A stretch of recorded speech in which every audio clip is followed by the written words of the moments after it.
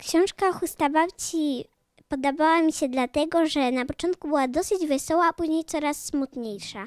Dlatego była na początku dosyć wesoła, że babcia wróciła ze szpitala. A potem coraz smutniejsza, bo babcia się robiła coraz bardziej stara. się bardzo źle czuła. Siedziała najczęściej w fotelu, prawie w ogóle z niego nie wstawała. Pod koniec książki jest trochę smutniej, bo babcia umarła. Tytuł pochodzi z tego, że dziewczynka i chłopiec zrobili sobie namiot z chusty za fotelem babci.